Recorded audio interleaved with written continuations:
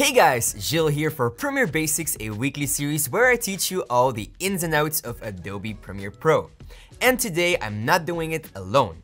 We have a feature today with no one other than Storysium. Now today, we are going to teach you 8 different transitions that are so simple that you don't even need presets for them. So without any further ado, let's get started and fire up Adobe Premiere Pro. Now let's start with a visual transition that depends on your shots. When transitioning from one shot to another, look for a second shot with visual elements like rocks, trees, or other objects. Now place the two shots behind each other, then duplicate the second clip and freeze frame the first frame. Now place that above the end of the first video track. Then we're going to take our time and properly mask around an object. Now this can also be a rock, a billboard, a person, whatever. If there are multiple objects on screen, you can duplicate the layer and mask these objects as well. Okay, once you've masked your object, nest the layer and go to the effect panel. Take the transform effect and drag it onto your nested layer. Then go to the effect controls panel and deselect the composition shutter checkbox. Set a custom one of 180. Then animate the object so that it pops on screen. You can do this by placing keyframes for the position property. Now don't forget to ease your keyframes once you've made this animation. Now you can make this longer by dragging the layer more over the first video of course, and if you have multiple objects, try and play around with different speeds and different directions. And as a finishing touch, you can always right click on the cut between the two video clips and add a cross dissolve. But make it quite short. This will give you this result.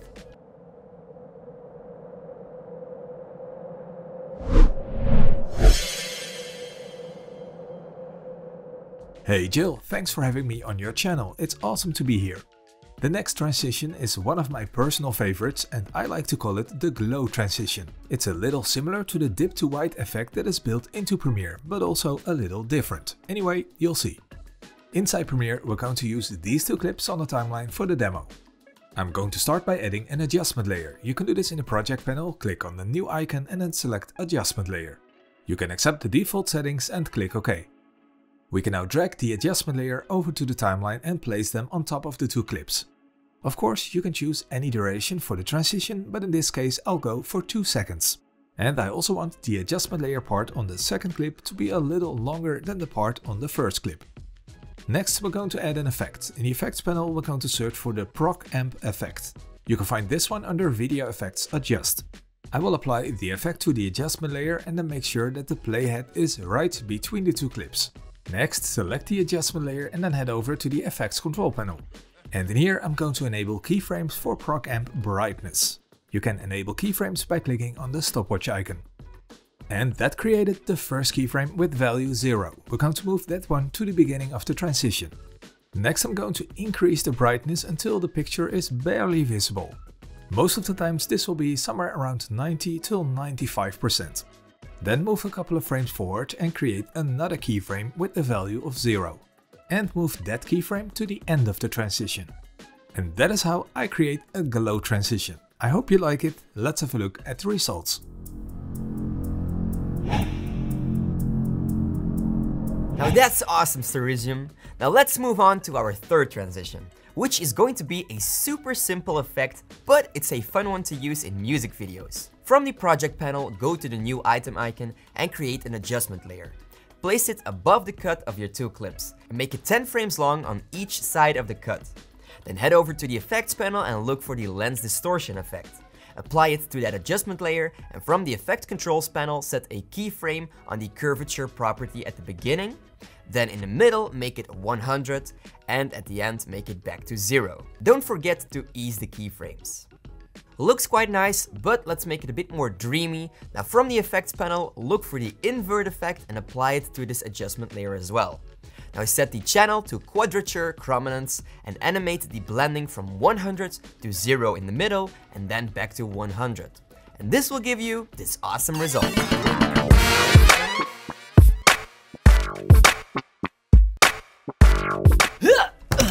Hey guys, Gilles from the future here. If you want access to even more awesome transitions, like for instance earthquake transitions, glitch transitions, and so much more, then head over to premierebasics.net. That's right, That's our website.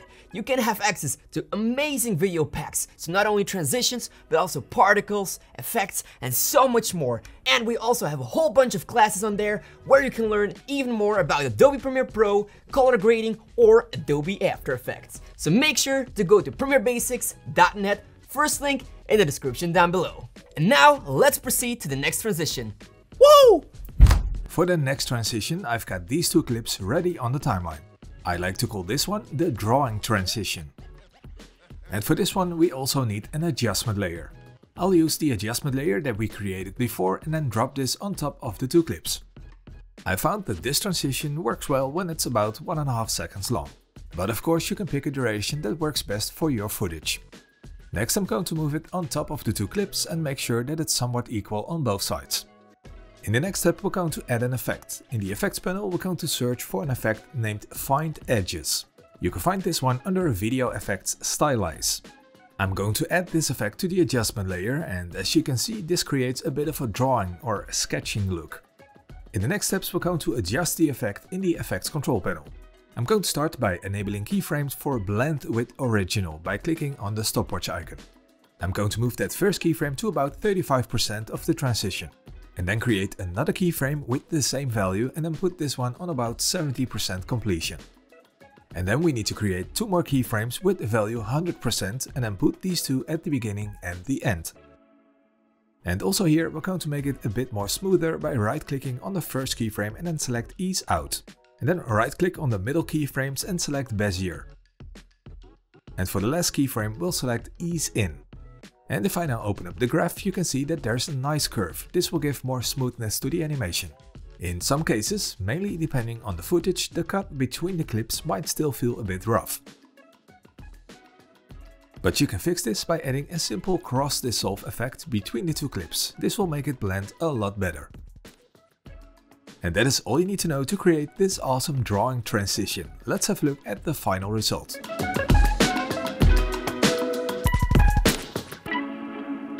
Wow, that was awesome! Now guys, if you want to see our next 4 transitions, then head over to Storysium's account. The video is also linked in our credit scene, so go ahead and look at those other transitions if you want to master all of them. I'll see you guys next week for a new live stream and a new tutorial, and as always, stay creative.